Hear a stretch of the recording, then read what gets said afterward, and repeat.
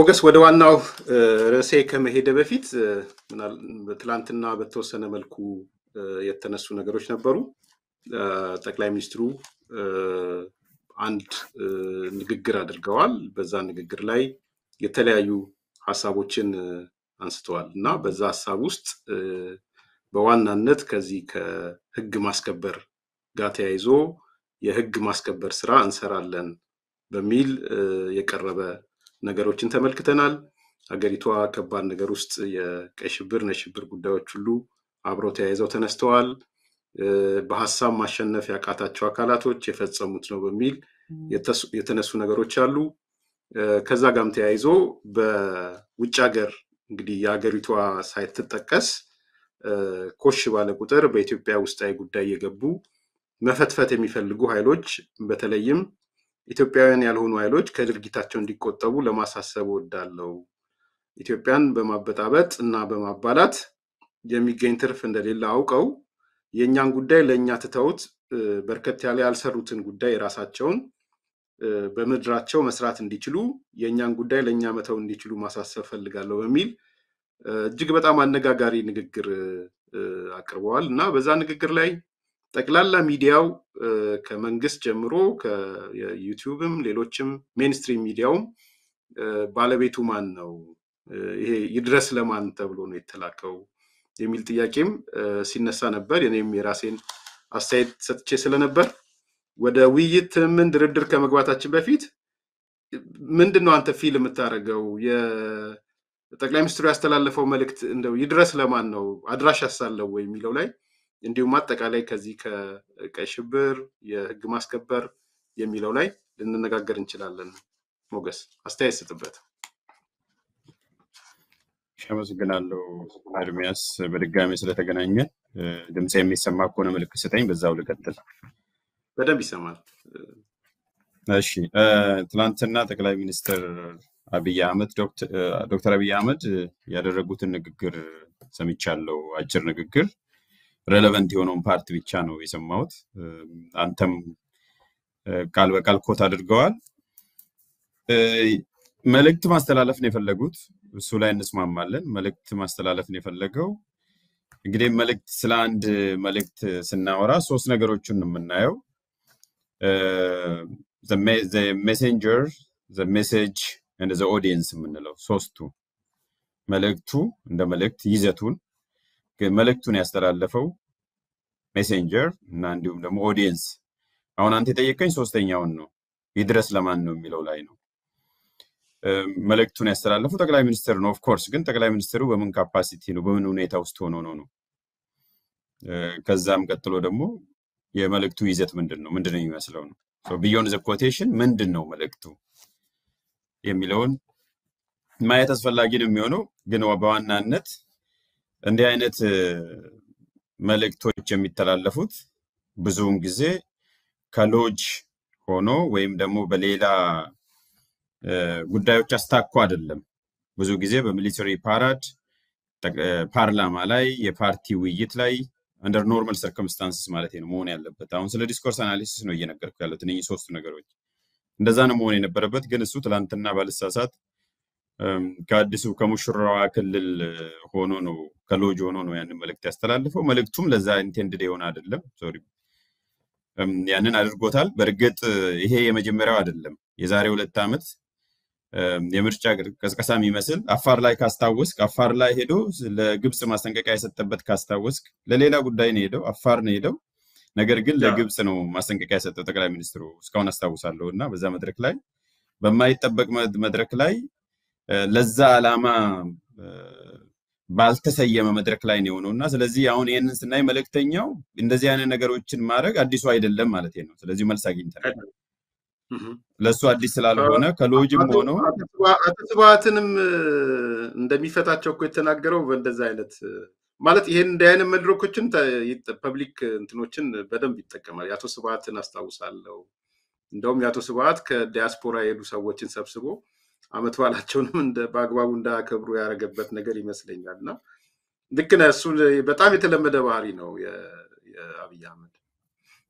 አዎ common pattern ሆኗል። አሁን normally ብዙ ጊዜ መንግስታት እንደዛ ነበር የሚያደርጉት። ቅድም ባልነው በ formal setting ነው የሚሆነው። እሱ ግን አትክልትም እየኮተኮተ ቦቴም እየነዳ ሳይክልም እያሽከረከረ በሀሜት መድረክ ላይም በየትኛውም ቦታ እንደዚህ አይነት መልእክቶች የ serious የ national security የሆኑ ጉዳዮችን የማስተላለፍ ልምዱ የተለመደ ነው እና ዛሬ ብቻ ቢሆን ኖሮ ትጠራጠር ነበረ። ለምሳሌ ቅድም እንዳልኩ discourse ን analyze ለማድረግ የት ነው የተደረገው የሚለውን ነገር ታያለ። ግን የለመደው ስለሆነ እሱም በዛ መልኩ እንለፈው። seriousness ኡን ለመውሰድ ማለት ነው። seriousness ኡን ለመውሰድ so serious ማለት ነው የተለመደ ስለሆነ ነው። ባለፈውም ቢሆን እኮ መስቀል አደባባይ ላይ ነው ወይም የወዳጅነት አደባባይ in quotation ወዳጅነት እስካሁን ስላላየው እዛ አደባባይ ላይ ነው በሚቀጥሉት ሁለት ነገሮች ይፈጸማሉ አለ ተናገረ። ይሄም ቢሆን ከካቢኔ ጋር ተነጋግሮ ምናምን አድርጎ ምናምን አይደለም። በቃ እዛው ጋር ተናገረ። ማክሰኞ የሆነ ነገር ይደረጋል፣ ሰኞ የሆነ ነገር ይደረጋል፣ ጠብቁ፣ ሂዱ ትግራይ ያላቸው ተሰብስበው ሄዱ እንዳለው። ከዛ በኋላም ውይይትም ይጀምራል። of course preparation ነበረ፣ ግን announce ያደረገበት መንገድ formal setting አይደለም ለማለት ነው። ሰው እሱ መልስ በዛውን ቶ የመጀመሪያው መልእክተኛው በዚህ መልኩ መልእክት ማስተላለፍ የተለመደ ነው፣ አዲሱ አይደለም። ሁለተኛው መልእክቱ ምንድን ነው የሚል ነው የተላለፈው መልእክት የኢትዮጵያ ኃይል እንዳላት ወይም በአጠቃላይ things are under control የሚለውን መልእክት ለማስተላለፍ ነው። ለማን ነው የሚለውን address ከማድረጋችን በፊት things are under control፣ በቃ በእኛ ቁጥጥር ስር ነው ያለው ሁኔታው። ቁጥጥር ስር ምን ማለት ነው? እርምጃ መውሰድ እንችል። አንደኛ እናውቃለን፣ ምን እየሆነ እንደሆነ እናውቃለን። ሁለተኛ ከኛ ቁጥጥር አልወጣም፣ እርምጃም እንወስዳለን። ስለዚህ ተጠንቀቁ፣ ለራሳችሁ እዘኑ፣ ፍሩ። የገባችሁም እጃችሁን ሰብስቡ፣ ወደፊት ለመግባት የምታስቡ ብትጠነቀቁ ጥሩ ነው የሚል show of force ነው። show force not necessarily እንትን military parade አይደለም በንግግሩ ያንን የተናገረው። so message ኡ ይሄ ነው። በጣም serious national security የሆነ ጉዳይ ነው የተናገረው። ሰውየው serious ነው። ቅድም መልሰናል፣ serious ነው። ከዚህ በፊትም እንደዚህ አይነት ነገር በተለያየ መልኩ ስለሚናገር ለምንድን ነው በዛ መልኩ የተናገረው? thinly veiled deliberately vague የምንለው እንደዛ ነው ያደረገው። thinly veiled ነው፣ በጣም ግልጽም አይደለም። ሙሉ በሙሉም መልእክቱን bold በሆነ ዘርዘር ባለ መልኩ አይደለም የሚያስቀምጠው። link ም አላረገም ከሌሎች ጉዳይ ጋር። thinly veiled and deliberately vague በሆነ መልኩ ነው መልእክቱን ማስተላለፍ የፈለገው። መልእክቱ of course audience ኡ የማን ነው ለማን ነው የተላለፈው የሚለውን of course ሶስተኛ ጥያቄ ላይ ነው የምንመጣበት። አንተ ይድረስ ለማን ነው ወዳልከው ነው የሚመራን። ይድረስ ለማን እኔ እኔ እኔ በተገነዘብኩት ያስቀመጠበትም በተለይ syntax ኡ ቋንቋው የተጠቀመበት በተለይ ኢትዮጵያኖች ያልሆናችሁ ይላል። በተለይ ከ comma በኋላ purpose ነው እንደዚያ ያጻፈው። ዝም ብሎ አይደለም speech የሚጻፈው ወይም የሚነገረው። ቢያንስ አንድ ሶስት አካላትን መለየት እንችላለን። አንደኛው most probably የኢትዮጵያ ታሪካዊ ጠላት ተብሎ implicitly የሚታወቅ define ማድረግ ሳይጠበቅበት ሁሉም መልእክተኛውም መልእክት የሚደርሰውም በጋራ የሚያውቁት የ implicit understanding ነው የምንለው። implicit understanding አያስፈልግም clarify ማድረግ። ታሪካዊ ጠላት ግብፅ ልትሆን ትችላለች፣ ሌሎቹ ሊሆኑ ይችላሉ የመሳሰሉ ሁለተኛው እና the obvious የሆነው of course ወደ አይምሮ የሚመጣው የኤርትራ መንግስት እንዳለ ነው። እኔም ይመስለኝ የኤርትራ መንግስት የኢሳያስ መንግስት ይሄም እርስ በራሳቸው ሲገናኙ even ጦርነት ነገ ሊጀመር መንግስታት ኤርሚያስ ነገ ጦርነት ሊጀመር መንግስታት ጦርነት እንደሚጀመር አይደለም ይጨባበጣሉ፣ ፎቶ አብረው ይነሳሉ።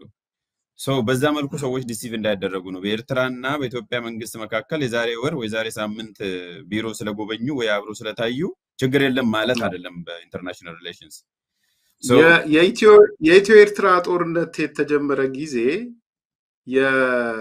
የኢህአዴግ team እና የኤርትራ team የፓርቲዎቹ team ተነጋግረው መጥተው ተለያይተው በሳምንቱ ነው የተጀመረው። በጣም ማልረሳው ስለሆነ ማለት ነው። ያን ያህል ደም አፋሳሽ ጦርነት የነበረው ሁለቱ ተነጋግረው የኢህአዴግ team እንደ ስራ አስፈጻሚ የተመደቡ ኃይሎች ነበሩ።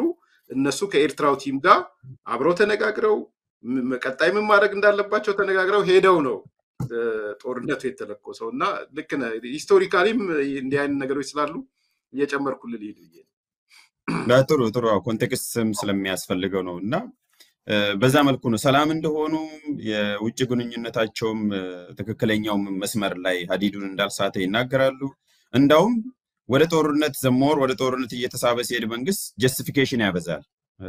በተፈጥሮ justification ምንድን ነው? ደህና እንደሆኑ ሰላም እንደሚፈልጉ next day ጦርነት ማወጅ ከፈለግ ሰላም እንደምትፈልግ ነው የበለጠ የምትለፈልፈው።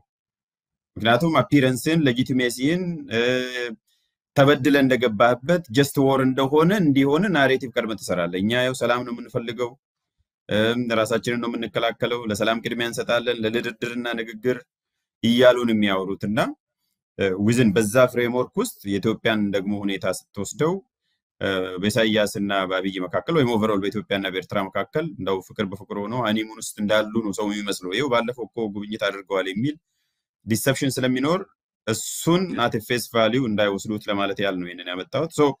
ለኤርትራ ሊሆን ይችላል ነው possibility ው ሊሆን ይችላል። ሁለተኛው እሱ ነው። ሶስተኛ በተለይ የሚለው ግን ብዙ ሰዎች የተረጎሙት አይመስለኝም እስካሁን ድረስ ኤርሚያስ፣ በተለይ ከምትለው በኋላ በተለይ ኢትዮጵያዊ ያልሆኑ ማለት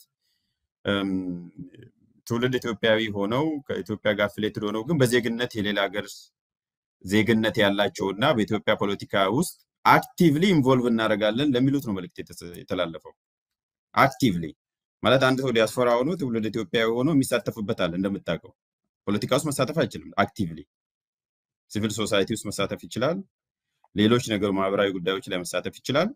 ነገር ግን ዜግነት ኢትዮጵያዊ ሳይሆን የሌላ ሀገር legal ethical obligation ይዘህ ግዴታ ይዘህ የገባው ኮንትራት እና ግዴታ ከሌላ ሀገር ጋር ነው። ይሄ የህግ ግዴታው ማለት ነው። ከ political social contract የምንለው ከኢትዮጵያ ጋር የላቸውም። ልትሳተፍ አትችልም ነው። በሱ ቋንቋ ልትፈተፍት አትችልም። የኢትዮጵያ internal affairs ውስጥ መግባት አትችሉም የሚልም ነው እና ብዙ ሰዎች ከዚህ አንጻር አላዩም። በተለይ ከምትለዋ ነጠላ ሰረዝ በኋላ እነኝህን ሶስተኛ አካላትን ለማካተት ያሰበ ነው እና ምናልባት ትናንት እናንተ ስት የራስን አቋም ስታቀርብ ሁለቱን አንድ ላይ political damage ኣቸው ምንድን ነው? ሶስተኛ ያነሳው በተለይ I think ከኤርትራ ጋር ያሉት የስ እንደ እናቱ አንዳርጋቸው ወይ ምናምን ብለህ ልትል ትችላለህ። እናቱ ምናምን ወዘተ ወዘተ ማለት ነው። የብዙ ከኤርትራ ጋር affiliated ናቸው ተብሎ ስለሚታሰቡ ከዛ ውጭ ያሉት ግን political damage ኣቸው ምን ምን ያህል ነው ማለት affiliate ካልሆኑ ለእነሱ የሚያስተላልፈው መልእክት ምንድን ነው? ክብደቱ ምን ክብደት ሊያመጣ ይችላል? ሞገስ አለው በደንብ አለው በደንብ damage አለው። of course ከኤርትራ ጋር ወይም ከኤርትራ መንግስት ጋር አንድ ላይ የተጃመሉት አንድ ላይ ያቀረብካቸው ማለት ነው። በዛ ውስጥ የገቡት እንደ ኤርትራ መንግስት ነው የሚቆጠሩት። እነሱ የሚሆኑት stooge ወይም surrogate ነው የሚሆኑት። መልእክተኛ ነው ሊሆኑ የሚችሉት።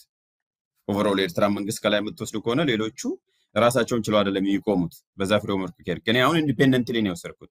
ራሳቸውን ችለው ራሳቸውን ችለው ምን ለምንድን ነው ነው አንደኛ የኢትዮጵያን ፖለቲካ ማህበረ ፖለቲካ በተለያዩ በተለያየ መንገድ ሊያዛባ የሚችል ሊያዛባ ስል positively ም negatively ም ማለት ነው ሊያዛባ የሚችል ነገር ውስጥ ስለሚሳተፉ ነው። ከነኛ ተሳትፎች ውስጥ አንደኛ advocacy ውስጥ ይገባሉ። ሁለተኛ የፖለቲካ ምን መምሰል እንዳለበት shape ያደርጋሉ። ምን አይነቱ ቅርጹ መንግስት መምሰል እንዳለበት፣ መቼ መካሄድ እንዳለበት፣ እንዴት መሆን እንዳለበት actively ያልኩ ለዛ ነው ቅድም ይላሉ። ያ affect ያደርጋል directly ም indirectly ም። ከዛ ሶስተኛው በገንዘብ ይረዳሉ። በገንዘብ ደግሞ ሲረዱ ፖለቲካ ላይ involve ያደረጉትን group ገንዘብ ረዳ። በገንዘብ ረዳ ማለት በሌላ መልኩ mobilize እያደረክ ነው። actively involve አድርጋል ማለት ነው። እኔ አሁን ስለ ሌሎች ህገወጥ ቡድንና ምናምን ውስጥ አልገባውም። ካስፈለገ እሱን ለብቻ boldly address ማድረግ እችላለሁ ስለምንመጣበት በኋላ ሰሞኑ የግርግር የድርድር ግርግርና የሽብር አካሄድና ውዝግብ እኔ እኔ የራሴ አቋም አለኝ። ትክክል አይደለም። ምናልባት በተደጋጋሚ ስልም የነበረው እኛ የማንፈልገው ቡድን ላይ in quotation እኛ ስል in quotation ወይም የማትፈልገው hypothetically ቡድን ላይ ጥቃት ስለደረሰ ኢፍትሐዊነት ስለደረሰ ብቻ ማጨብጨብ purely የምቀኝነት ፖለቲካ ብዬ ባለፈውም አንድ interview ላይ የሰጠሁት አሁንም እያየው ነው። አንድ ነገር ስህተት ከሆነ unconditionally ስህተት ነው ማለት ነው ያለብህ። ኢፍትሐዊ ከሆነ ኢፍትሐዊ ነው ማለት ያለብህ ከማንም ጋር ሳታገናኝ እና ያሟላል ወይ ነው ከምንም ጋር ሳታጃምል X የተባለ ጉዳይ ትክክል ነው ወይስ አይደለም ነው deontological የምንለው ማለት ነው። ምናልባት እኛ ፖለቲካ ለአቅመ philosophy ም ስላልደረሰ ለጊዜው እናቆይና ነግበኔ የሚለውን ኢትዮጵያን ብንወስድ ጥሩ ነው። ነግበኔ ላይ የተመሰረተ ትክክለኛ አካሄድ ነው ወይስ ህጋዊ ነው ወይስ ፍትሐዊ ነው ወይስ የሚለውን ከምንም ጋር ሳያታክኩ ለብሽሽቅና ለምቀኝነት ሳይጠቀሙ መጓዝ ይሻላል የሚል ነው። ይሄ የራሴ አቋም ነው። ከሽብርተኝነትና ግርግር ጋር ተያይዞ ያለው ፖለቲካ ላልስማማ እችላለሁ፣ በሌላ ነገር ላልስማማ እችላለሁ። የራሴ መንገድ ሊኖረኝ ይችላል። ሌላው ሰው ብቻ ስለተጎዳልኝና ስለተሰደበልኝ፣ ስለተዋረደልኝ፣ ስለተሳደደ ብቻ የማጨበጭብበት ምክንያት አይኖረኝም። ድሮም የነበረ ነው፣ ዛሬም አለ፣ ወደፊትም የሚቀጥል ነው። እግረ መንገዱን እዚሁ ልበል ብዬ ነው። ለማን ነው ይድረስ ያልከኝ? እነኚህ ሶስት ቡድን ናቸው። የኤርትራ ከፍተኛ ድርሻ ይዛል። እነ ግብፅና ታሪካዊ ጠላት እና ወዘተ። ሁለተኛ ኢትዮጵያዊ ሳይሆኑ ስለ ኢትዮጵያ ፖለቲካ ከኢትዮጵያኖች በላይ እንዲህ ማድረግ አለባችሁ፣ ፖለቲካችሁ እንዲህ መምሰል አለበት፣ መንግስታችሁ የመሆን አለበት የሚሉትን ያካትታልና እኔ ምናልባት ሊጨምርል የሚችለው እችኛውን ሶስተኛ ነው በተለየ መልኩ ሊሆን የሚችለው ግን ጊዜ ወስጄ ሶስቱንም address ለማድረግ ሞክሬያለሁ። messenger message and the audience የሚለውን ሁልጊዜም እንደ framework ብንጠቀም ጥሩ ነው። አንደኛው sense ያደረኩት እኔ አጭር አስተያየት ሰጥቼ ትላንት ስለተናገርኩ የዚህ ኢትዮጵያውያን ያልሆኑ አካላት አንድ እንደውም እንግዳ ይዤ እመጣለሁ ከዚህ non governmental organization እነዚህ NGO የሚባሉት እንደምታውቀው ብዙ ሀገራት ላይ NGO ዎቹ የመጠምዘዝ ስራ ይሰራሉ። በተለይ አንድ ሀገር ቀውስ ውስጥ ገብታለች ብለው political ቀውስ ገብታለች ብለው ካሰቡ ያን ነገር manipulate ለማድረግ እና የሚፈልጉትን አይነት ስርዓት ለመገንባት የሚሄዱበት አቅጣጫ አለ። ችግሩ ምንድን ነው? በቁጥር አንድ ኢህአዴግ በነበረው ወቅት እነዚህን ኃይሎች በአዋጅና በህግ የመከላከል ስራ ተሰርቶ ነበር። አንተም እንደምታውቀው የ NGO አዋጁ አብይ ከመምጣቱ በፊት የነበረው አዋጅ ላይ protect እንዲሆኑ በተለይ በፖለቲካ ጉዳዮች ላይ እንዳይገቡ የተደረጉ የዚህ የአስር ዘጠና እና አስር ዘጠና I think የአስር ዘጠና አዋጅ የሚባለው አንድ ድርጅት የገቢው ከአስር በመቶ በላይ ከውጭ የሚያገኝ ከሆነ ሲመዘገብ የውጭ ድርጅት ሆኖ ነው የሚመዘገበው። እሱ በነገራችን ላይ ዋናው ሀሳብ ከዚህ ከመንግስት ከጣልቃ ገብነት ጋር ተያይዞ ነው። የአዋጁን እኔም በቅርብም ስለማውቀው ዘጠና ሰባት ዘጠና ስምንት ላይ ከጀርባው ከአዋጁ ጀርባ ያሉትን ትርጉሞች በደንብ አውቃቸዋለሁ። እና ያን በወቅቱ አስር ዘጠና ሲደረግ I think ከሶስት ሺህ በላይ ልጆች drop አድርገዋል መስራት ሳይችሉ። even ኢትዮጵያውያኖች ይሆናል ያደራጁት። ኢትዮጵያውያኖች ሆነው አደራጅተው ነገር ግን ገቢያቸውን ከአስር በመቶ በላይ ከአሜሪካ ቢያገኙ ከአውሮፓ ቢያገኙ it's automatic የውጭ ድርጅት ምዝገባ ውስጥ ይገባሉ እና የውጭ ድርጅት ምዝገባ ሲገቡ ከሚከለከሉት ነገር አንዱ የፖለቲካ እንቅስቃሴ የመብት ስራዎች ላይ የወጣቶች፣ የሴቶች፣ የህፃናት መብቶች ላይ መስራት አይችሉም። then አሁን አብይ አህመድ ከመጣ በኋላ ትልቁ አንዱ የሰራው እኔ መጀመሪያ ሰሞን ደግፌው ነበረ። ተምሩ የሚባል ተምሩ ሊሶን ታውቀዋለህ ብዬ አስባለሁ። በዚህ ነገር ላይ expert ነው። ይዤው እመጣለሁ እና ከጀርባ ያለውን ነገር ሲነግረኝ really ከዛ ጀርባ የነበሩ ትልልቅ ድርጅቶች ነበሩ። እነዛ ድርጅቶች አንዱ ያደረጉት የአስር ዘጠና እንዲቀር ነው ያደረጉት። የአስር ዘጠናው ሲቀር ምን ሆነ ማለት ነው? የድርጅት ምዝገባህ ከውጭ ገቢ ከአስር percent ም በላይ ብታገኝ እንደ ሀገር ውስጥ ድርጅት ትሆናለህ። የፖለቲካ እንቅስቃሴ ውስጥ መግባት ትችላለህ። ትልልቅ ሶሮስ ምናምን የሚባሉ ሰዎች ምናልባት ካወቃቸው የሚያራምዷቸው ድርጅቶች ነው የነበሩት እና እነዛ ድርጅቶች ስፖንሰር አድርገዋቸው ነው NGO አዋጁ እንዲቀየር ያደረገው። በዛን ወቅት አብይ አህመድ ራሱ በመደመር መጽሐፍ ላይ እነዚህን NGO ዎች against EPRDF ቁጥር አንድ የዴሞክራሲ ምልክቶቻችን ናቸው እስከ ማለት ጽፎ ነበር። against ሆኖ ማለት ነው። የልማት ብቻ ሳይሆን የዴሞክራሲም ውጤት እንትኖቻችንና ያግዙናል በዴሞክራሲ የሚል ነበር። አሁን ግን በተወሰነ መልኩ ስታየው ከነዚህ ከ non-governmental organization ጋር ያለው ቅሬታም እየዳበረ የመጣበትን ነገር ትመለከታለህ። ስለዚህ ኢትዮጵያውያን ያልሆኑ የሚለው መልእክት አንዱ ብዙ ጊዜም አድቫይስ ስለሚ እንዲያርጉ እንዲያርጉ እንዲያርጉ መሬት ፖሊሲያችሁን ለውጡ እነ ሲአርዴ ምናምን በነገራችን ላይ ሲአርዴን ጨምረህ የመሬት ፖሊሲያችሁን ካልቀየራችሁ ችግር ነው፣ ይሄን አድርጉ። አገር ሲናወጥ የፖሊሲ ለውጥ ነው ይዘው ይዘውልህ የሚመጡት እና እነሱንም አንስቶ ሊሆን ይችላል። አሁን አንዱ የጨመርኩት ነገር በሌላ በኩል ደግሞ አድራሻም አልባ ሊሆን ይችላል። ሞገስ አድራሻ አልባነትን ታስባለህ? እሷን ብቻ በለኝና ወደ እንትናችን ሄድ። አዎ አስባለሁ። እሱንም አስቤ ነበረ ቅድም እንዴት እንደረሳሁት። አራተኛ ሊሆን የሚችለው ያው እንግዲህ እንትን የሆነው መቼም እንደ ሰካራሙ ፖስታ አይሆንም። አድራሻ ፖስታው አልሰከረም of course፣ ግን deliberately ነው deliberately ነው ታስቦ ስለሆነ ሰካራሙ ፖስታ አይደለም። ይሄ አድራሻው ለሁሉም ነው። ይሄ To whom it may concern የምንለው የለም recommendation ለሁሉም ለሚመለከተው ሁሉ ሰው ይሄ ዓላማው ምንድን ነው? purely bluffing ነው። bluffing በፖለቲካ ቋንቋ bluffing ነው የምንለው። ማስቦካት ነው የሰፈር የአራዳ ቋንቋ። ሌላኛው ቋንቋ ምን እንደሆነ አላውቅም። bluff ታደርጋለህ። ስለዚህ ቱሪናፋ ማለት ቱሪናፋ ነው መሰለኝ የሚባለው። ቱሪናፋም ሊሆን ይችላል። ግን ከቱሪናፋ ግን ይሄ ማስቦካት ይበልጣል። ማስቦካቱ ማሳየት አለበት። የተወሰነ ሊቦካል ይገባል ያኛው እና ማስቦካት ትንሽ more assertive ነው። ቱሪናፋ ዝም ብለህ ነው በቃ ምንም ታወራለህ እንጂ seriously የሚወስድም ሰው የለም። ቱሪናፋ ስትሆን bluffing ላይ ግን ሌላው የምታስቦካው ይኖራል። overall ቅድም መጀመሪያ ካስቀመጥኩት ነው የሚነሳው message ያልኩ everything is under control የሚለው ስለዚህ ኃይልም አለን አቅም አለን ችግሩንም እናውቃለን እነማን እንደሆናችሁም እናውቃለን አርፋችሁ ተቀመጡ ካልተቀመጣችሁ ደግሞ እርምጃ እንወስዳለን የማያዳግም እርምጃ ያው ባለፈው የዛሬ ሶስት ቀን እንዳሉት ማለት ነው what is የማያዳግም እርምጃ ብዙ ነገር እዛ ውስጥ ነው የሚሆነው። devil is in the details እንደሚባለው ግን ደግሞ bluff እያደረገ ያለው ለ potential aggressor ነው by the way ለሁሉም። ለነበረውም ወደፊት ጣልቃ ሊገባ ለሚፈልግ ጣልቃ of course ስልጣኑን ሊገዳደር የሚፈልግ የትኛውን ቡድን ጠቅላይ ሚኒስትሩ ሁሉንም ነገሮች እንደተቆጣጠረ እና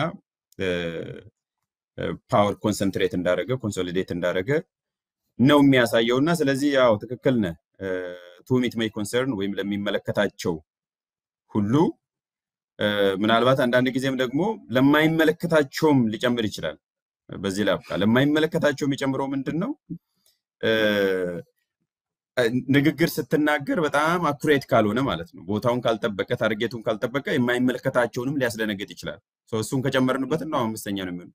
ያው እዛው አራተኛ ላይ slash አድርገ and or አድርገ የሚመለከታቸውና የማይመለከታቸውንም ይሆናል ማለት ነው። ምክንያቱም ሌላው friendly የነበረው interpret ሊያደርግ ይችላል ማለት ነው፣ ሊደነግጥ ይችላል እና እኔን ነው እያለ እኔን ነው እያለ እንዲደነግጥ ማለት ነው።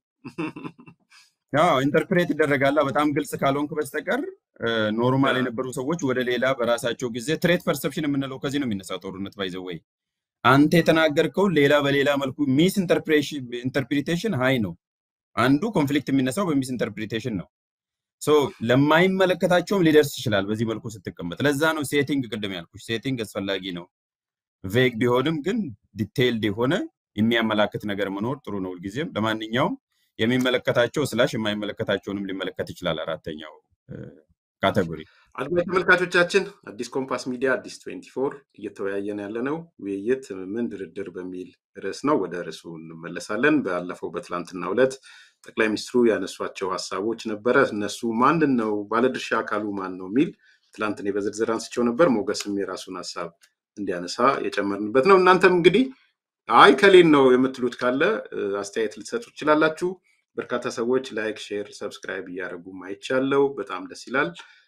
እንዲሁም የሜምበርሺፕም እየተሞሉ ያየሁት አለ። ከረጅም ጊዜ በኋላ ከአመታት በኋላ ደግሞ ያየኋችሁ ኢንሂም ዊ ሊቭ ሁሌም በሊናዬ የነበረ ሰው ነው። በአካል አላውቀውም። ዛሬ ስላየውህም ደስ ብሎኛል፣ ወይም ስላየውሽ ደስ ብሎኛል። እንግዲህ ውይይታችን ይቀጥላል። ከአፍታ ቆይታ በኋላ ተመልሰን እንመጣለን።